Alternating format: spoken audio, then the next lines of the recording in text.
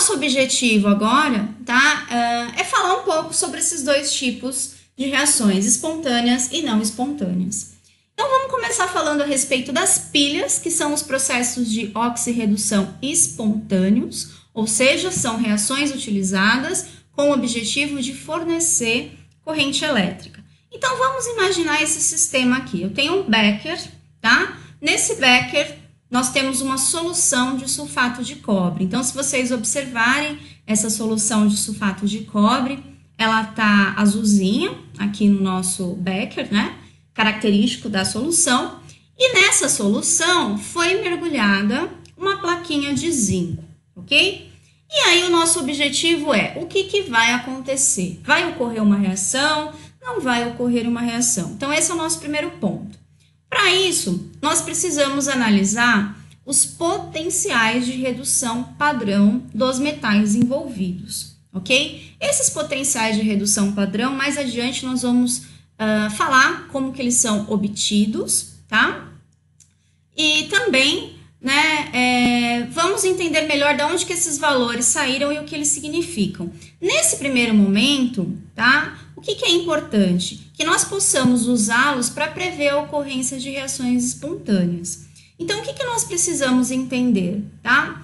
Esse potencial de redução, ele mede, na realidade, a tendência do material sofrer redução. Quanto maior for este valor, né? Aqui vocês têm 0,76 para o zinco e 0,34 para o cobre. Quanto maior for esse valor, significa que maior é a tendência do metal sofrer redução.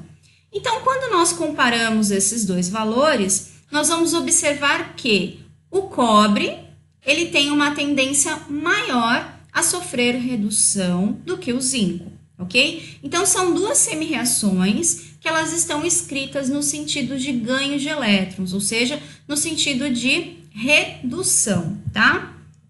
Então, o que, que acontece? Quando nós deixarmos essa placa de cobre armazenada, né, nessa solução de, de a placa de zinco, perdão, armazenada nessa solução de sulfato de cobre, após certo tempo, nós vamos observar uma ocorrência de uma reação. E o, o resultado disso, né, o fruto disso, é uma solução uh, que vai diminuir a intensidade né, da coloração então, essa solução de cobre ela vai ficar mais clara, né? não vai estar aquele azul tão intenso. E nós vamos observar a deposição de cobre né? sobre essa placa de zinco. E por que, que isso acontece? Tá? Se nós observarmos as semi-reações, o potencial de redução do cobre é maior do que o potencial de redução do zinco. Portanto, o cobre, né, os íons de cobre 2 que estão na solução, eles vão sofrer redução e vão formar cobre metálico, como está representado nessa semi-reação. Se o cobre reduz, consequentemente o zinco vai oxidar, ok? Então, a reação de oxidação do zinco, tá? Vai ser essa reação de redução invertida. Então, nós vamos ter o zinco é, metálico, que vai estar tá sendo convertido em zinco 2+, liberando dois elétrons, né? A minha imagem aqui do vídeo, ela tá tampando aqui a, a, a reação, tá? Mas, na realidade, nós temos a reação inversa, e se nós invertemos a reação, consequentemente, o sinal também, né, ele passa a ser invertido. Ou seja, se para reduzir o zinco, nós precisamos, né, de uma diferença de potencial de menos 0,76 volts, para oxidar o zinco, o potencial gerado é de mais 0,76 volts, ok? Então, uh, quando nós somamos essas duas semi-reação de redução e de oxidação, nós temos a reação global do processo, tá? Que vai ser zinco 2+, mais zinco metálico, tá? E o produto vai ser cobre metálico mais zinco 2 mais, tá? A minha imagem tá tampando, mas o potencial, né, a diferença de potencial gerada nessa, nessa, nesse sistema vai ser de mais 1,10 volts. Da onde saiu esse mais 1,10 volts? é o valor, é o potencial de redução do zinco, do cobre, que é 0,34, mais o potencial de oxidação do zinco, que é esse valor invertido. Então, 0,34 mais 0,76, isso vai gerar uma diferença de potencial de 1,10 volts, ok? E aí a minha pergunta é, como que desse sistema que nós montamos aqui, como que dessa pilha, nós podemos aproveitar esse potencial que é gerado, esse 1,10 volts, né? Ou seja, como que nós podemos usar essa reação para gerar essa corrente elétrica, né? E aproveitar, na realidade, essa eletricidade né, gerada nesse sistema. Então, se nós construirmos um sistema dessa forma, no qual nós temos uma lâmina de zinco mergulhada numa solução de zinco, então aqui está representado por sulfato de zinco, e nós temos uma lâmina de cobre mergulhada numa solução de sulfato de cobre, ok? Essas duas lâminas, elas, elas vão estar conectadas por um fio condutor, ok? Qual vai ser a função desse fio condutor, né? É por esse fio que vai ocorrer a transferência de elétrons, ok? Então, o que está acontecendo nesse sistema, tá? É basicamente a mesma reação que nós mostramos anteriormente, porém agora, né, é, nós temos a conexão dessas placas, a união dessas placas por um fio condutor, tá?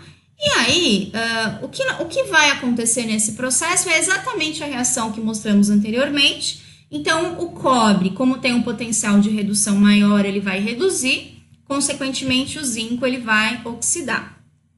Então, o que está acontecendo é, uh, o zinco ele começa a sofrer oxidação, então essa placa de zinco ela vai começar a sofrer oxidação e ela vai sofrer um desgaste, ou seja, né, ela vai corroer. Então, o, que a gente vai observar com o tempo é um desgaste dessa lâmina de zinco. E aí, consequentemente, né, nós temos essa reaçãozinha aqui acontecendo, ok? Né, né, nessa região onde está a lâmina de zinco. Então, a lâmina está representada pelo zinco sólido, ela vai oxidar e começa a se depositar íons de zinco 2+, nessa solução. Os elétrons que são liberados nesse sistema, eles são transferidos pelo fio condutor, e aí esses elétrons chegam até a lâmina de cobre, tá? Então, quando esses elétrons chegarem na lâmina de cobre, essa, essa lâmina vai ficar carregada negativamente e ela começa a atrair os íons de cobre que estão na solução. Então, essa lâmina, ela, né, ela carrega de elétrons por conta do fornecimento, né, da transferência do zinco para o cobre por meio desse fio condutor. E aí, essa lâmina carregada negativamente, ela começa a atrair os íons de cobre que estão na solução. E aí, à medida que esses íons de cobre são atraídos pela placa, né, ocorre a reação de redução, ou seja, esse cátion ganha dois elétrons, formando cobre metálico e nós observamos o aumento da espessura desta lâmina aqui, tá? Por convenção, pessoal, uh, nós chamamos de cátodo, né? Em alguns livros vocês vão ver a palavra sem o acento, então cátodo ou catodo, tá? O eletrodo no qual ocorre a redução. Tanto se nós temos uma pilha ou um, uma eletrólise, né, que é o processo não espontâneo, a definição de cátodo é essa, tá? É o eletrodo no qual ocorre o processo de redução. Na pilha, o cátodo tem sinal positivo e numa eletrólise tem sinal negativo. Então, os eletrodos, né, os sinais dos eletrodos, eles se divergem se o processo é espontâneo ou não espontâneo. Porém, a definição de cátodo é, independente de qualquer coisa, independente do processo, é o eletrodo onde ocorre a redução. E ânodo, o eletrodo onde ocorre a oxidação. Numa pilha, o cátodo é o eletrodo positivo, tá? E o ânodo é o eletrodo negativo, ok? Em alguns livros vocês vão encontrar como catodo, tá? Ou uh, tá bom? Aí vai depender da, da grafia da palavra, tá? Então, o que que acontece, né? Uh, o zinco representa o nosso eletrodo negativo na nossa pilha, ou seja, o nosso anodo, e o cobre representa o eletrodo positivo na nossa pilha, ou seja, o nosso catodo, tá? O que está que que tá acontecendo aqui que tem um detalhe muito importante, tá? Uh, que eu ainda não havia falado, que é a ponte salina. Qual é a função dessa ponte salina? Se vocês observarem, né, lembrarem um pouquinho da explicação, o que está acontecendo no eletrodo de zinco, no ânodo, né? Uh, nós temos, na realidade, a corrosão, né, a oxidação da placa de zinco e a deposição, a formação de zinco 2 nessa solução. Ou seja, no ânodo, devido ao processo de oxidação, começa a se formar cátions e esses cátions começam a aumentar a concentração deles na solução correspondente ao ânodo, ou seja, começa a aumentar as cargas positivas no eletrodo negativo, tá? Do outro lado, né, no outro eletrodo, nós temos o contrário, porque o cobre que está na solução, os cátions de cobre que estão nessa solução, eles estão reduzindo. Ou seja, está diminuindo a concentração de cargas positivas no cátodo e está aumentando as cargas positivas no ânodo. Ou seja, nós estamos num sistema que foi gerado um desequilíbrio de cargas. E se esse desequilíbrio de cargas persistir, essa pilha ela vai parar de funcionar, ok? E aí o que, que nós precisamos, né, é, na realidade? Colocar a ponte salina. Então aqui vocês têm a, né, a ilustração dessa ponte salina. O que é a ponte salina, né? Aqui ela está representada por um tubo de vidro, né, preenchido com uma solução de KCl, né, de cloreto de potássio, tá?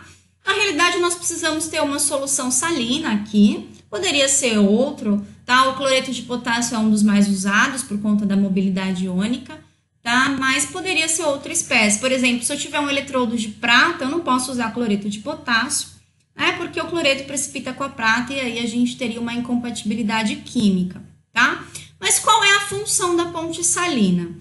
Então, aqui no eletrodo, onde está o cobre, no cátodo, nós temos a redução das cargas positivas, né? Porque o cobre está reduzindo, então diminui a quantidade de cátions. Então, consequentemente, os cátions da ponte salina, que no caso é o potássio, migram para esse eletrodo de cobre, ok?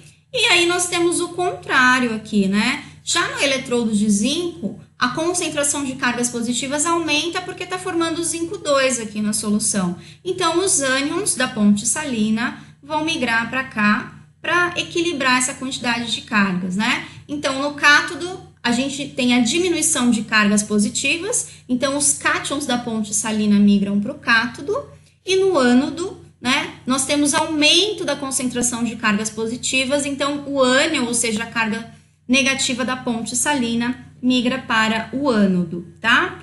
Uh, a questão dessa migração de cargas é o que justifica os sinais, né? O cátodo, ele é o eletrodo positivo. Por que positivo numa pilha? Porque é para onde migram os íons positivos da ponte salina, é o sentido de migração dos íons positivos da ponte salina.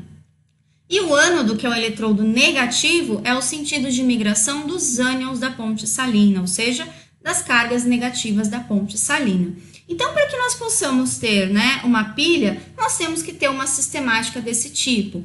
Como os elétrons eles passam por esse fio condutor, se nós colocarmos um pequeno objeto aqui conectado nesse fio condutor, uma lâmpada, por exemplo, pequenininha de LED aqui, por exemplo, seria possível né, é que a lâmpada funcionasse. Ou seja, esse sistema, conforme nós mostramos né, no, no slide anterior, ele gera um potencial de 1,10 volts. Então, nós conseguiríamos fazer funcionar né, algo tá, que necessitasse dessa, dessa voltagem, ok? Então, uma coisa que é muito importante, sempre que nós temos né, é, uma reação espontânea, os elétrons, eles sempre fluem, tá? Uh, num sentido único, ou seja, né? Aqui eu fiz até uma analogia, uma brincadeira, né? Nós temos aqui uma cachoeira. A cachoeira, a água sempre vai estar, tá, né, indo de cima para baixo. Ela sempre vai estar tá descendo. Ela tem, né? Ela flui por um sentido único. A mesma coisa quando nós temos um processo espontâneo, né? Os elétrons eles sempre vão fluir, ok? Uh, do ânodo para o cátodo, ou seja, do eletrodo onde está ocorrendo a oxidação para o eletrodo onde está ocorrendo o processo de redução. Por quê? Porque quem oxida fornece os elétrons para quem reduz, ok? Então, esse é o sentido dos elétrons na ponte salina, ok?